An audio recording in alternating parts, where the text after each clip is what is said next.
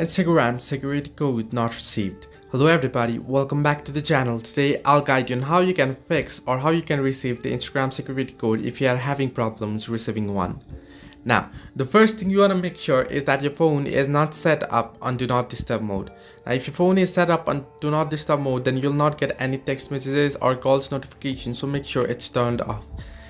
What you want to do is scroll down the notification bar and then at the shortcut panel you can see the option do not disturb. Just make sure it's turned off and not turned on. You can see mine is turned on right here. But if you don't find it here, what you want to do is head over to your phone settings and then on the search bar you can search for do not disturb.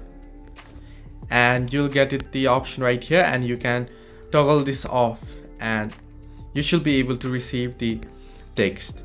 However, if this is not the case and you're not getting any messages, then what you want to do is it might just be that your message is been blocked or set to spam. Now what you want to do is filter unknown senders. Now do so, head over to your phone messages and then on your phone text what you want to do is tap on three dots you can see and then head over to saved messages or blocked and spammed messages.